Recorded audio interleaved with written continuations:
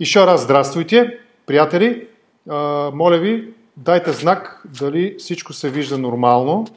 Би трябвало да се вижда нормално. Разговора ми с Олексий Кафтан, който е журналист от украинското издание и на руски се публикува на този сайт Делова е столица.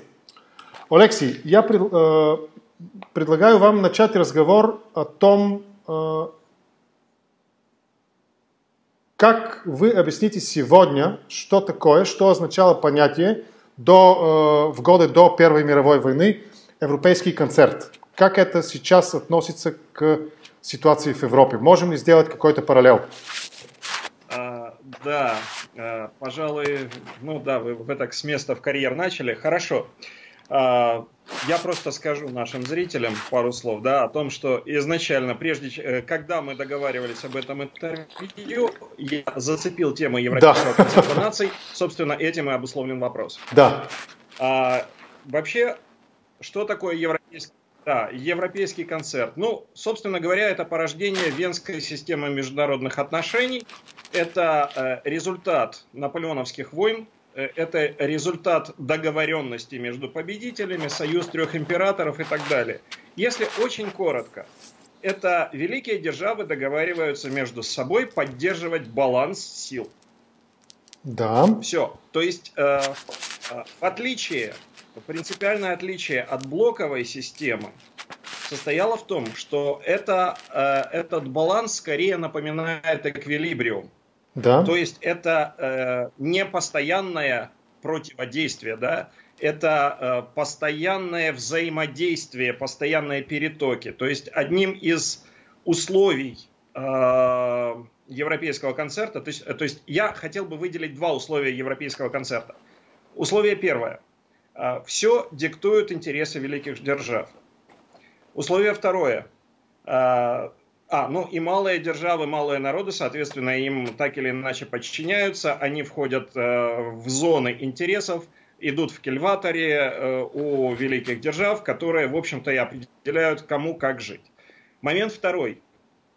В пределах этой системы, в пределах этого постоянно меняемого, колеблющегося баланса, э, любо, э, государства могли менять партнеров и союзников но так, чтобы, собственно говоря, вот эта вот система э, весов, да. она оставалась более-менее стабильной, да, то есть поддерживаем равно, равновесие. Ну а теперь давайте посмотрим на то, как это применимо в настоящее время. А, это, а, можно, наверное, можно еще один да? уточняющий вопрос вам задать. В то время э, европейского концерта в э, годы до Первой мировой войны на болгарском, я думаю, что и на русском тоже правильно называть, называть ее э, Великой войной. Большая, Big War, большая война. А, русские не любят этого названия. Почему? А, это очень интересный вопрос. Вообще, э, Первая мировая, как да. таковая, очень долгое время была практически ну, целенаправленно стиралась из э, памяти, как в Советском Союзе, так, собственно говоря, и в нынешней России ее тоже очень не любят. Не любят по массе причин. В Советском Союзе ее не любили, называли империалистической войной, да, то есть э, войной, к которой как бы Союз не имел ни малейшего отношения, хотя э, ага. Россия была одной, одной из ключевых сторон в этом конфликте. А, вот, э, вроде, вроде когда это новейший режим, который не несет ни, никакой да, да, ответственности за... Это. Было, было в то время, когда коммунисты не любили царизм. Да. Да, понимаю. Что любопытно, сейчас э, ничего практически не изменилось. То есть отношение к Первой мировой у, у в России, у, у российских верхов и, в общем-то, у российского народа, оно э, осталось э, таким же. Это, ну не то чтобы это не наша, мол, война, да, а, но это война, о которой среднестатистический русский, независимо от э, его положения в обществе и занимаемой должности, имеет очень смутное представление. Это нечто далекое а, из области легенд. Да. По а... большому счету, да. Ну, то ли дело Вторая мировая, точнее, тот период Второй да. мировой, который в России принято называть Великой Отечественной. Понимаю. В том состоялся и мой вопрос. Э, ну, как, как себя... Есть, э, она практически за Первую мировую, она ее практически вытеснила. Понимаю. Как себя чувствовали в то время европейского концерта маленькие народы, маленькие нации? Слышимся? Нормально? Связь перервалась? Я... м, Асиан, Да, я слышу. слышно меня? Да, да, да, да, да, да.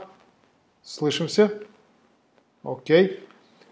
Приятели, връзката прекъсна. Моля ви, стойте на линия. Сега ще го избера отново, за да продължим разговора там, откъдето завършихме преди малко. Така, мисля, че вече... Нормално слышим се, да? Связь перервала се. Да, да. Окей. Так, а, мой въпрос фактически был, а, в- състоял се в том, как себя чувствовали в то время, во время европейского концерта до Первой мировой во- войны, маленькие народы, маленькие нации, маленькие государства. А, ну, давайте взглянем на карту в период э, от 1815 до 1914 года. Да? А, малых государств э, появилось за это время не так уж и много. Да? Можно вспомнить э, результаты Балканских войн, э, э, э, да, когда э, государства, э, когда народы Балкан получили свои государства, скажем так, осторожно, причем не все народы. А, Отметим Румынию, Болгарию, да, э, сербов, которые начали строить свой э, государственный проект, ну и так далее. А, то есть э, здесь говорить о том, что малых, э, о, о- о малых государствах, которым э, как-то жилось, можно в очень ограниченный период времени. Да, э, между 15 и ч- э, 1914, 1815 и 1914 годами. А что касается малых народов, э, и не очень малых, они так или иначе были разделены между империями. Здесь ни- ничего не изменилось практически. Э, И так или иначе им приходилось выполнять э, волю правительств великих держав. Понимаю. Окей. То есть, э, скажем так, э, европейский концерт, я не, ш- я- не ошибусь, если так э, обобщу. Европейский концерт был благоприятный для э, великих сил, но не очень благоприятный для маленьких э, государств, правильно? Ну, это э, скорее можно говорить о, о- да, о компромиссе империй. Окей, спасибо. Переходим в настоящее время. А, Прошедшая неделя для Путина, как вы ее оцениваете? Мне кажется, я согласюсь с, с несколькими журналистами, которых я слежу на русском языке, которые определяют эту неделю как самую успешную внешнеполитическую неделю для Путина. Вы с этим согласны? А, Я бы сказал, что это самая успешная э, неделя за, ну, за последний год точно. Да. А, Опять же, нужно, э, нужно здесь определять, э, здесь нужно разводить две вещи. Да. А, Действительный, э, действительный успех, ус- который мы видим по телевизору, успех показной. Да, да. Это не всегда одно и то же. А, То, что, э, то, что, то, что с Путиным здоровались, э, жали ему руки на саммите Большой Двадцатки э, Трамп, Мэй, э, Меркель, э, встреча опять-таки с э, Макроном, это, да, это понятно. Это безуслов, безусловный успех, по крайней мере, картинка складывается благоприятной для Путина. да. А, в то же время, то, о чем они говорили, все-таки так или иначе осталось за кадром, хотя я думаю, что и здесь в значительной мере придется констатировать, что э, этот саммит, в отличие от предыдущего саммита аргентинского в Бу- Буэнос-Айресе, э, был все-таки для него безусловно успешным. Связь нормально. Вы вопрос слышали, да? Да. Как, какая ваша оценка факта, что э, Росси- Российская Федерация была принята обратно в ПАСЕ? Ой, это больная тема для Украины. Знаю, да, Да. поэтому задаю вопрос. Да. Э, Смотрите, мое личное мнение, э, я э, дам вам, наверное, немножко украинскую перспективу этого вопроса, поскольку она так или иначе связана с тем, что произошло в ПАСЕ. Во-первых, здесь ну, ну, нужно э, отметить, что предыдущие пять лет э, Украина последние Да. пять лет очень настойчиво э, старалась э, сохранить э, статус-кво, то есть сохранить э, такое положение, при котором российская делегация не будет присутствовать на заседаниях ПАСЕ. А в то же время и э, да, у нас э, достаточно активно, достаточно такие болезненные дискуссии сейчас ведутся, кто же виноват в том, что россиян все-таки в ПАСЕ пустили, то есть вернули. А, кто-то говорит предыдущий президент Петр Порошенко, кто-то говорит нынешний президент э, Владимир Зеленский. Я, наверное, сказал, что каждый из них виноват по-своему. А, в, ну, наверное, даже и степень этой вины оценивать не стоит, поскольку есть, опять-таки, третья сторона, есть европейские государства. Да. А, значит, э, то, как мне это видится, с нашей стороны а, мы очень неплохо отстаивали свои интересы, играя в ценности. То есть играя на европейской, э, э, на европейской политике ценностей. Да. да?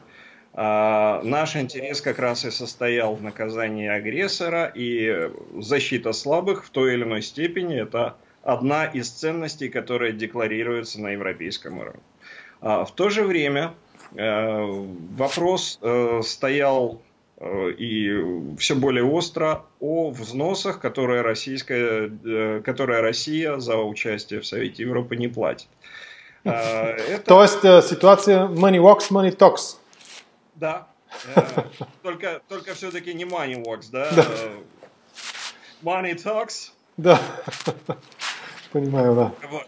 А, э, я, например, не знаю, э, могла ли Украина чисто технически, скажем, взять пятерку самых богатых людей Украины и, покла- и, и погасить задолженность России. Вот, но это, э, эта версия, по крайней мере, обсуждалась здесь у нас. В то же время стоит отметить огромнейший профицит бюджета Германии, которая точно так же, если бы она действительно отстаивала европейские ценности, могла бы э, без э, особого для себя ущерба э, эту сумму погасить. Там речь шла о 30 миллионах евро, что-то да. 32 миллиона в год. Да? Вот. Ну и не в этом была проблема. Проблема была в другом. Проблема заключалась, ну, с нашей стороны, проблема заключалась в недостаточной активности президента, в общении, который ездил и в Париж, вы знаете, и в Берлин, а, общался с, э, с президентом Макроном и с канцлером Меркель, а, но оказался недостаточно настойчив. Хотя в то же время я, я полагаю, что решение о возвращении России было принято гораздо раньше, чем э, Зеленский даже был избран президентом. Дело не в этом. Да. И дело даже не в деньгах, не, не во взносах, э, которые Россия платит э, в ПАСЕ.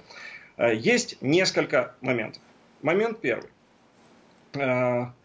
Это то, что европейцы склонны разводить разные треки. Да? То есть они могут одновременно и включаться в политику санкций против России – и вести business as usual, угу. и договариваться о строительстве Северного потока второго.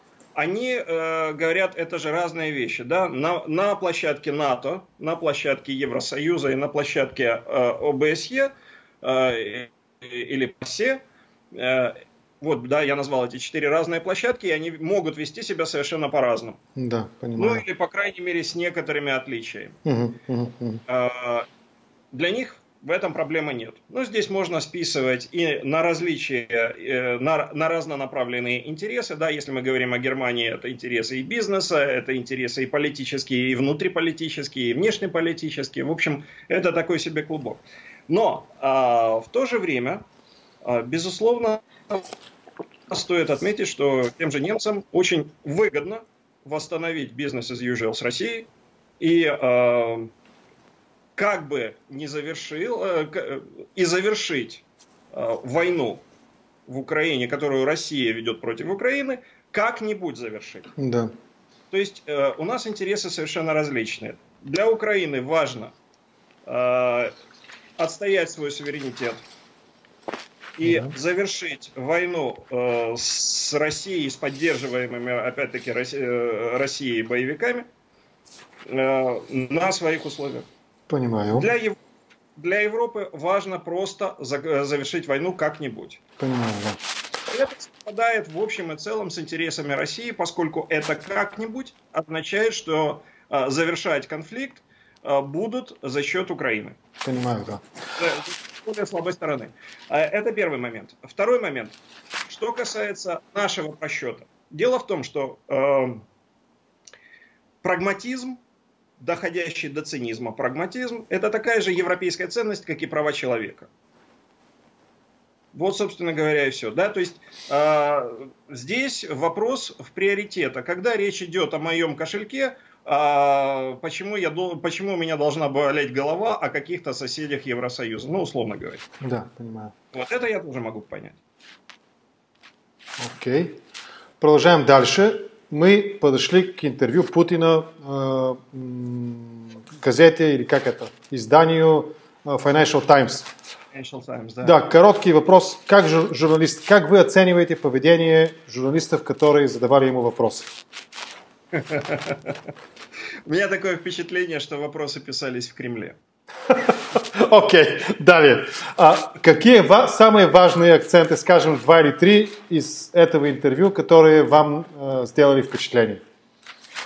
А, знаете, э, что касается акцентов, здесь э, важно, мне кажется, подчеркнуть, что а, даже если я назову эти два или три акцента, они так или иначе будут связаны одной, э, одной темой. Да.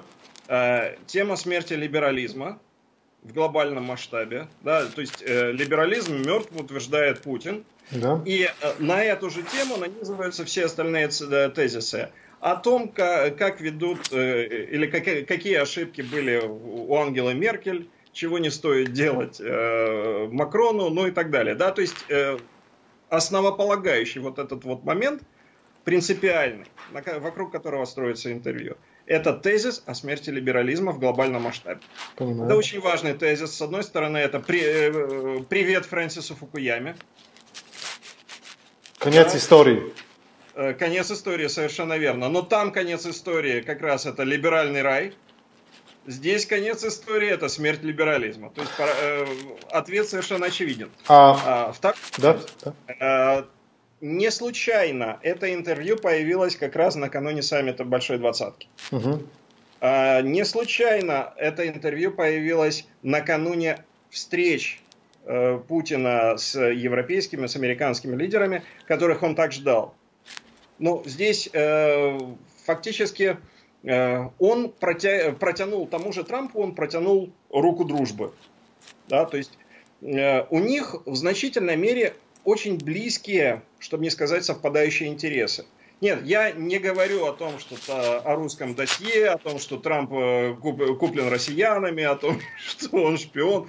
Нет, совершенно четко и прагматично. Если мы говорим о том, что собой представляет доктрина Трампа, к примеру, а, то э, здесь нельзя не отметить определенного сходства с доктриной Путина.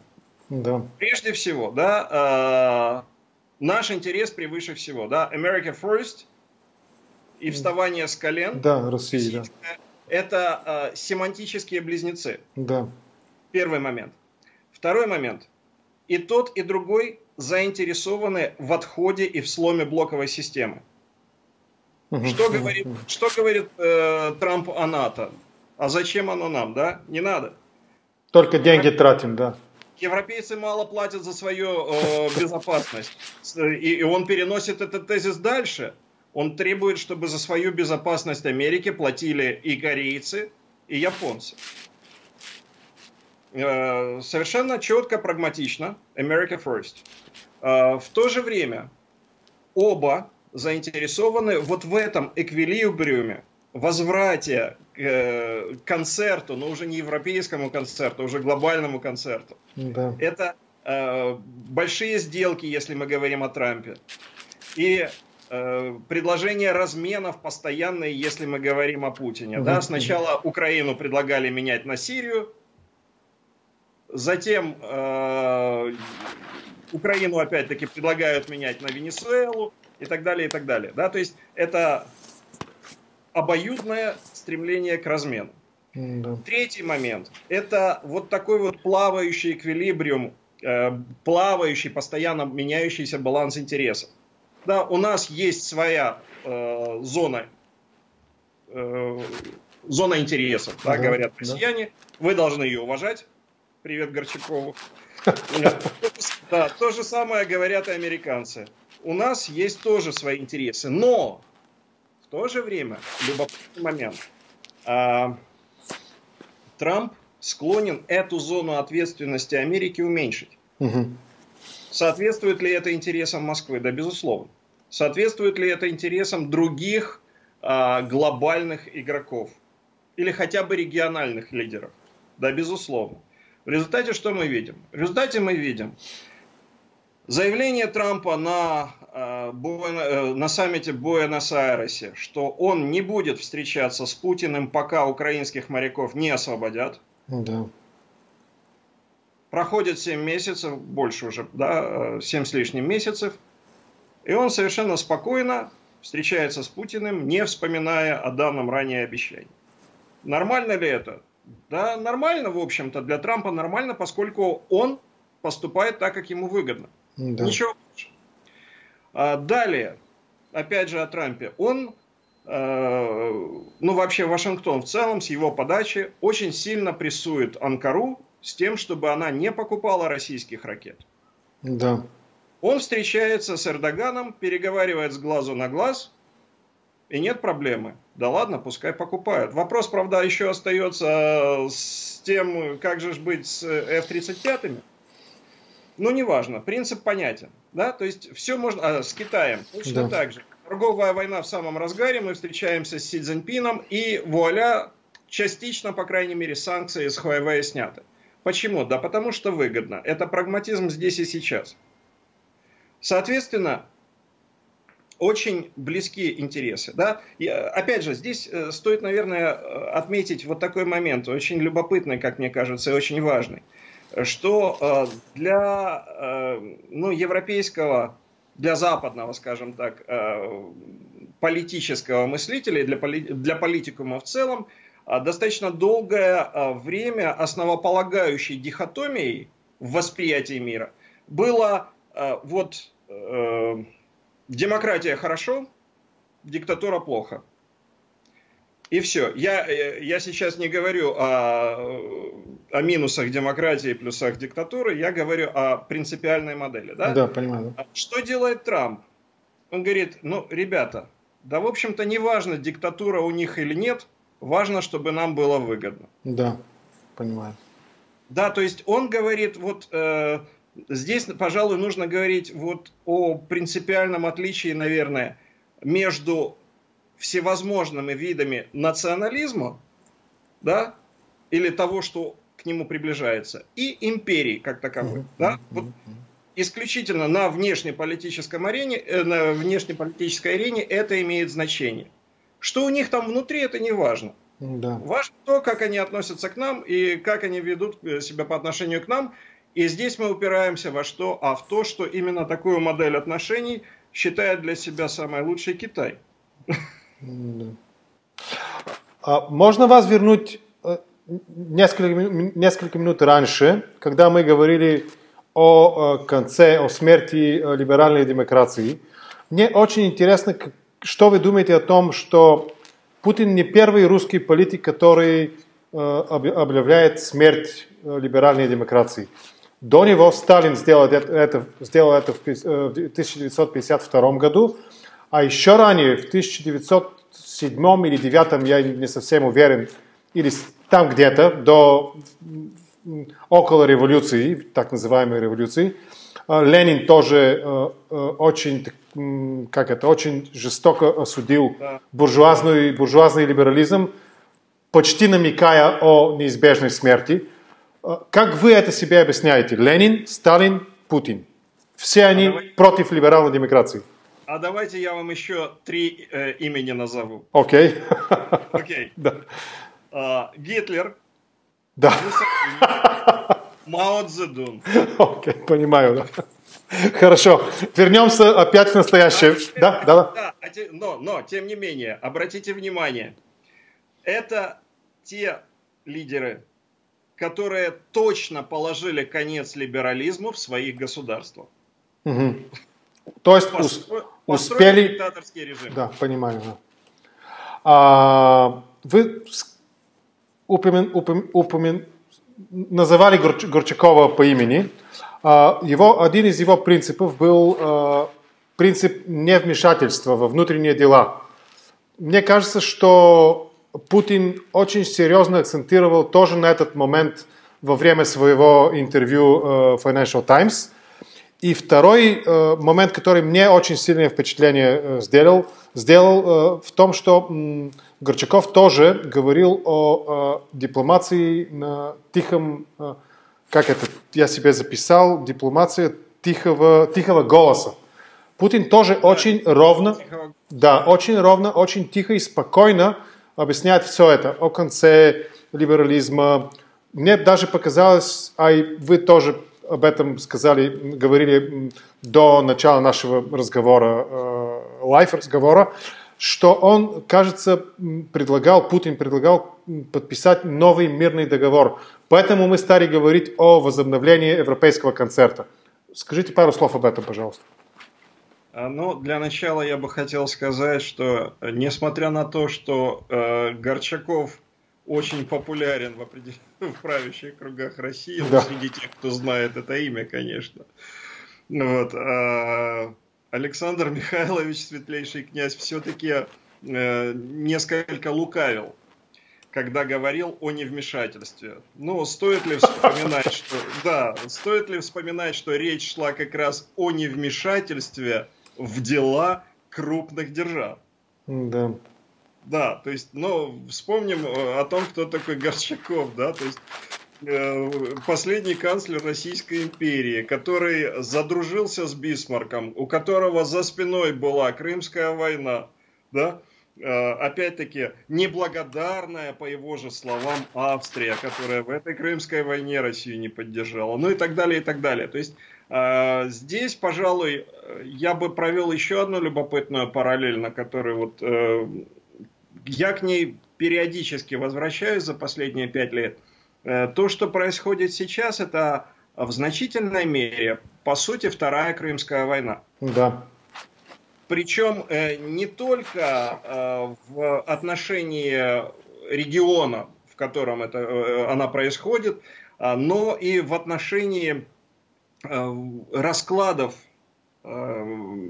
между ведущими, ведущими силами. Единственное, Э, с той разницей, что, э, собственно говоря, конфликт э, между Западом и Россией, да, он сейчас ведется совершенно иными средствами.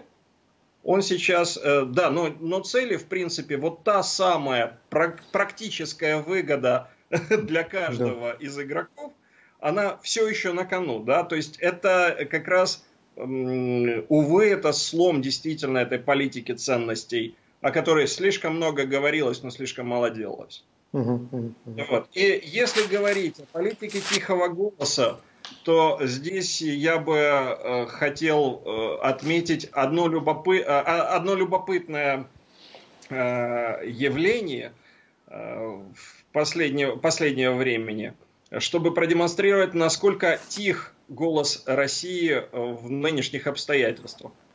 В частности, накануне э, саммита в Осаке э, в России были уже в который раз э, раскрыты э, тактико-технические характеристики ракеты «Сармат», которую на Западе называют «Сатана-2», поскольку он в значительной мере э, вероятно является э, модернизацией известной ракеты советского производства, которая разрабатывалась и строилась в Украине. Поскольку «Сатану» сейчас без помощи Украины Россия не может поддерживать в готовом состоянии, она очень быстро стареет, и ее нужно списывать в утиль. Соответственно, на, на смену ей разрабатывается «Сармат». Так вот, что характерно. Как раз о том, что дальность, это дальность пуска ракеты расчетная – достигает 18 тысяч километров, стало известно аккурат перед саммитом, перед встречей с Трампом. Угу, угу. Мне кажется, это очень любопытно. Да? А в то же время а, по, по, похожая модель, очень похожая да, на то, как ведет себя Ким. Угу. Но сравни, сравнивать Северную Корею и, и с северо-западной Кореей, то бишь России, наверное, не стоит. Но тем не менее, параллельно напрашиваются. Но второй момент очень любопытный. Саммит прошел, и теперь э, в России говорят о том, что, собственно, сатану, который списывается, можно использовать для планетарной группировки, чтобы уничтожать окружающей Земле. Вы понимаете? То есть вот, вот он, этот вроде как тихий голос. Этот э, вроде как, э, с одной стороны, скрытая угроза, да, у нас есть чем вам ответить. А с другой стороны, ну у нас есть чем поддержать вас, да, то есть мы же все-таки земляне, давайте будем. Да-да, он э, несколько раз в своем интервью э, упомянул, упомянул то, что он за мир, мы мир хотим и так далее. То есть, э, но угрожая, как вы говорите, этими новыми ракетами и так далее. Да, а, да а, но в контексте Первой Крымской войны, тогда Горчаков тоже произнес эту фразу очень известную «Россия не сердится, только Россия сосредотачивается». Да. Можем ли говорить о том, что процесс сосредотачивания уже кончился, или э, он сейчас в своем, как это, пике, самой высокой точке, и что можем ожидать дальше как результат сосредотачивания России? Я не берусь говорить о том, что э, Россия уже на пике сосредоточения, скорее всего, процесс еще продолжается. Да. Хотя, с другой стороны, все зависит от того, что вы имеете в виду, что вы вкладываете в понятие сосредотачивается. А, с одной стороны, Россия уже воюет. Я, я лично вкладываю э, ответ на... Даже, даже в контексте э, Россия встает с колен, скажем. Но она продолжает. Возвращение, величие и так далее. Да, да. Здесь э, стоит отметить, что в медийной плоскости, да, то есть нынешняя война в значительной мере информационная. Причем я говорю сейчас не только о войне против Украины. Я говорю о войне против Запада, против того же либерализма, который Путин уже похоронил, э, но который все еще сопротивляется, и я надеюсь, Путина переживет. Э, здесь э, вопрос в том, э, как долго она сможет еще сосредотачиваться. Все-таки э, время играет против Путина. И то, что это вре- э, то, что он это время, в общем-то, надо признать, использует с, по- э, с пользой для себя, но он умеет ждать, чего не отнимешь. Угу. Российский режим умеет ждать. Да-да, Путин тоже умеет ждать, да. Да. А, э, и Здесь как, вот, как показали события э, на ассамблее э, Паре, угу. Пасе, угу. как показали, как показал саммит в Осаке, да, все-таки он является скорее стайером, а, Россия, а европейские лидеры оказались спринтерами. Да? То есть они все-таки Э, несмотря на то, что санкции наложены на Россию, все-таки они, как сказать, сдаются быстрее. Угу, угу, Вот. Э, у меня большие опасения, честно говоря, такой, э, не могу сказать, что необоснованный, но пессимизм в отношении того, как будут развиваться дальнейшие события, как будут договариваться опять-таки Европа с Россией, но я боюсь, что это будет попытка как раз возвращения отката к тому концерту наций, с которого мы, э, с которого мы начали разговор. Да. А, в контексте процесса сосредотачивания... Причем, да, да, я да. добавлю, причем а, этот откат а, тем более будет болезненным, а, по моему мнению, что границы того же Европейского Союза или границы, э, восточные границы НАТО, которые, в общем-то, совпадают, да, они э, не будут приниматься во внимание. Ну, то есть как, формально же они будут, конечно, но э, этими границами влияние России на Запад не будет остановлено ни в коей мере. Угу. Россия как действовала через э, русскоязычное население, которое она считает, в общем-то, инструментом. Да, то есть э, у, России к России, э, у России к русской и к русскоязычной диаспоре по всему миру очень сугубо ин, э, инструментальное отношение. Угу. Вот. То есть это так или иначе пятая колонна практически для всего Европейского Союза, это пятая колонна для Соединенных Штатов. По крайней мере, э, именно в этой роли э, ее в значительной мере и видит и использует Москва. Понимаю. А, я начал, нач, начал задавать следующий вопрос. А, в контексте а, сосредотачивания России, можем так сказать, Можем ли рассматривать процесс э, разрыва в рамках Европы, в рамках Европейского Съюза, как э, результат процесса сосредотачивания? А, разрыв, э, разрыв э, вы, вы имеете в виду разрыв между новой Европой и старой Европой, я так думаю. Да, новый в смысле постсоветское пространство, но и политический разрыв, скажем, по оси либеральная, консервативная Европа, социалисты. Сейчас я уверен, что вы проследили процессы, которые протекли около выбора Тиммерманса за председателя Европейской комиссии и так далее. Есть, можем ли искать, правильно ли искать связь с этим процессом сосредотачивания России? А, я думаю, отчасти можем, но это также и часть более широких процессов, которые происходят в Европе еще года с 2003 -го. Я э, делаю отсылку к, собственно, возникновению терминов «новая Европа» и «старая Европа». Их ввел, э, вряд, ли, вряд ли очень желая того, э, министр обороны в администрации Буша-младшего Дональд Рамсфельд. Но тогда он говорил о Европе новой, которая поддержала вторжение в Ирак. Это были преимущественно восточноевропейские государства. И Европе старая, которая его не поддержала, прежде всего в лице э, Германии и Франции. Угу. Но любопытно, что то, что он э, охарактеризовал таким образом, пережило ситуацию, и эти термины, э, я имею в виду ситуацию вторжения в Ирак, и эти термины еще более укрепились, поскольку действительно этот раскол на лицо по массе причин, и я думаю, что как раз этот раскол будет углубляться, э, и Европа разных скоростей, за которую так ратуют Берлин и Париж, еще больше усилит этот раскол. Несмотря на, несмотря на то, что формальное единство континентальной Европы, возможно, и будет сохранено, но противоречия будут обостряться и дальше.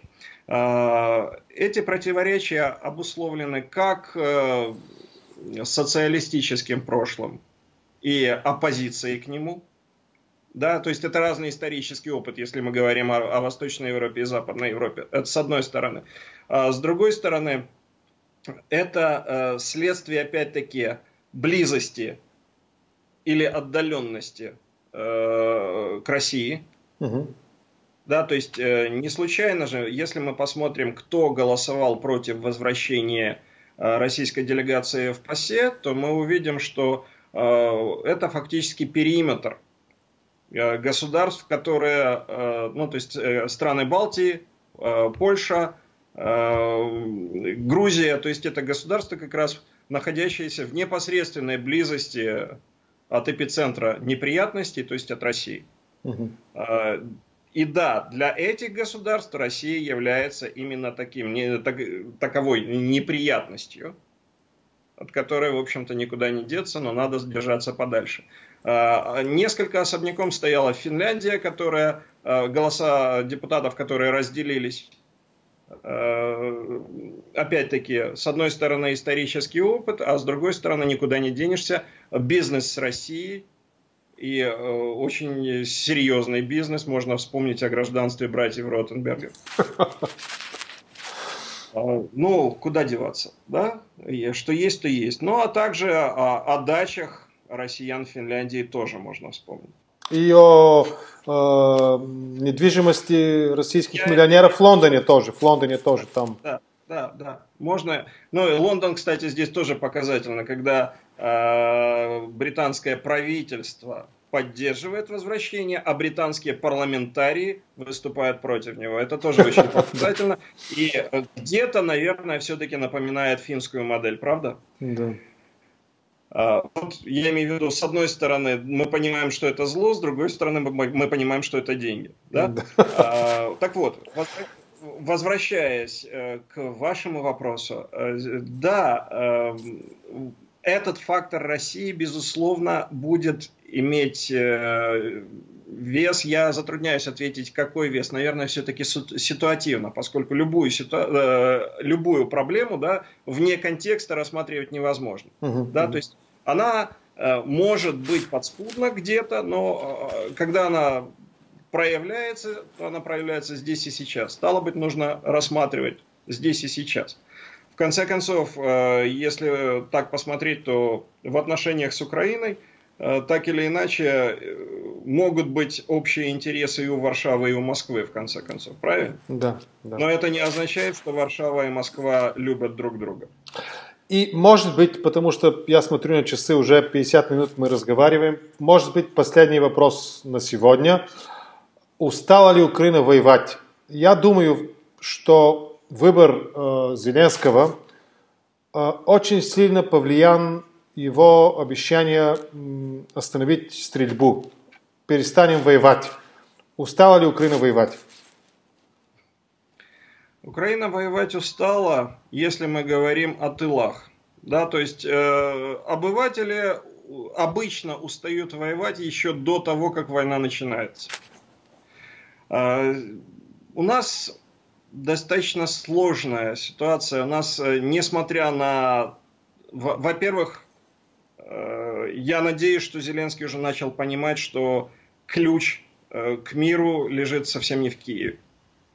Поскольку, несмотря на разведение войск в столице Луганской, силы средств, да, несмотря на то, что он призывает не стрелять, стрельба продолжается. Буквально вчера э, российской противотанковой ракетой э, сепаратисты уничтожили, взорвали медицинский джип, погибли двое человек, еще один очень тяжело ранен.